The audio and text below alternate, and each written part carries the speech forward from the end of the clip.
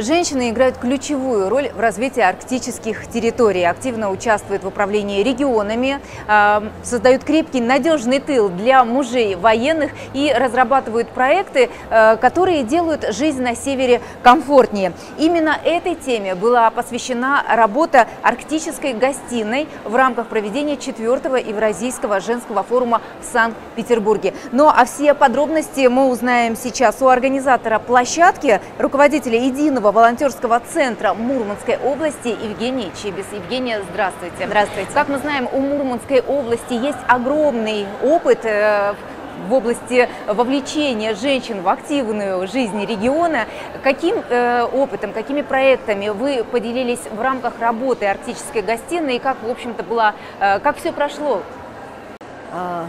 хочу в первую очередь сказать, конечно, выразить слова благодарности организаторам Евразийского женского форума за то, что он дает нам такие возможности. Когда мы проводили арктическую гостиную, для нас выпала честь открывать Евразийский женский форум и задавать вот эту сложную мужскую территорию Арктики представлять с женской позиции. Арктика, а, стереотип об Арктике какой? Что это очень мужской регион, очень промышленный регион. И это правда. Он промышленный, он развивающийся, он имеет огромное финансовое экономическое значение в экономической политике нашей страны.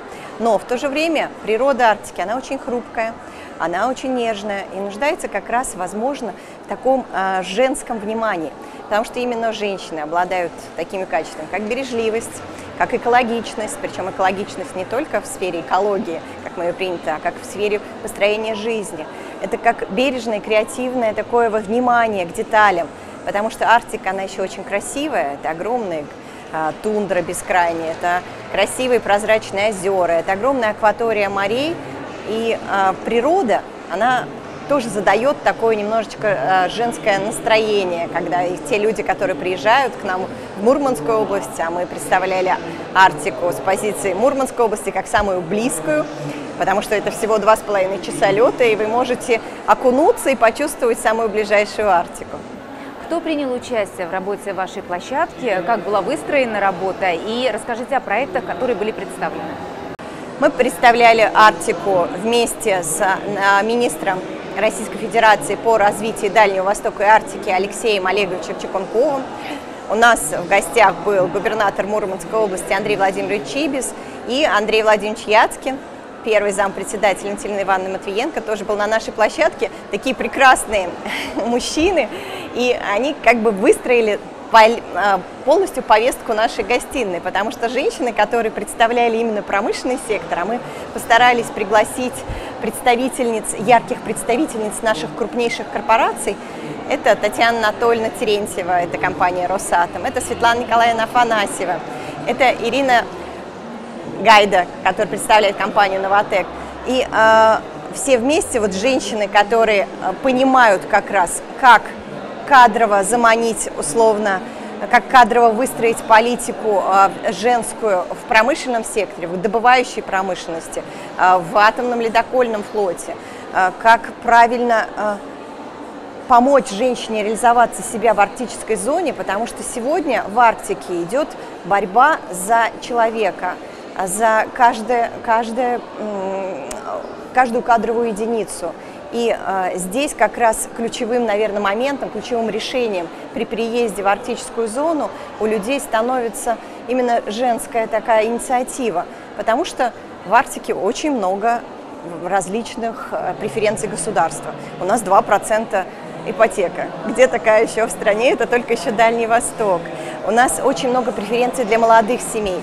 И мы считаем, что как раз женская инициатива, она сможет стать ключевой для молодых семей, которые принимают решения, возможно, о переезде, либо о каком-то карьерном скачке, который они хотят сделать. И крупные корпорации, которые у нас находятся на территории, а у нас шесть крупнейших корпораций именно только в Мурманской области, а вообще в арктической зоне РФ практически все крупнейшие добывающие э, корпорации у нас присутствуют, то, конечно же, они все нуждаются в молодых кадрах, в людях, идет борьба за людей. И это на самом деле проблема не только России, это проблема мировой Арктики. То есть другим странам, представительницам других стран ваш опыт был интересен? У нас был э, посол Кубы, А, да, мы очень, нам было очень приятно, что наша повестка арктическая стала интересна такой достаточно не арктической стране. Да. Но мы уже понимаем, что Арктическая зона – это огромный ресурсный потенциал, и интересы свои проявляют не только страны, которые присутствуют в арктической зоне. И Индия, и Китай постоянно говорят об своем интересе, об участии в различных проектах, инвестиционных в том числе, в арктической зоне. И поэтому, конечно, присутствие мировой, мирового сообщества вот, на Евразийском женском форуме, оно дает еще большее распространение проектов. Вторым вопросом, который мы поднимали, это мы поднимали вопрос здоровья. А, и сейчас а, инициатива правительства Мурманской области – это продвижение такого арктического стандарта медицины, потому что сложные климатические условия, они, конечно, тоже откладывают отпечаток на жителей, и э, вопрос здоровья, он тоже может стать ключевым фактором при вопрос переезде. Мы рассчитываем на то, что эта инициатива будет принята и будет продвинута дальше на других, возможно, экономических площадках. И э, много федеральных э, экспертов в сфере здоровья тоже поддержали нашу инициативу и говорят о том, что вопрос принятия подобного медицинского стандарта будет важен. А, и третий момент, конечно, мы представляли Арктику не только как промышленную и как, как развивающийся, самый развивающий, самый важный экономический регион сейчас в нашей стране. Мы представляли Арктику с женской точки зрения, креативную, красивую, мы а, пригласили нашего дизайнера, который сейчас популярен а, на мировом уровне. Девочка, обычная девочка из Мурманской области, которая смогла добиться э, и продвинуть свое имя на мировых площадках. Это дизайнер бренда Гапанович. Мы смогли поставить красивые э, демонстрационные платья. И, конечно, то, зачем едут в Мурманскую область, то, зачем едут в Арктику, это Арктика вкусная. А, специфика северной кухни, новые блюда, которые внедряются сейчас, плюс огромное обилие морепродуктов свежайших. Это сейчас модно, это сейчас а, особенно популярно.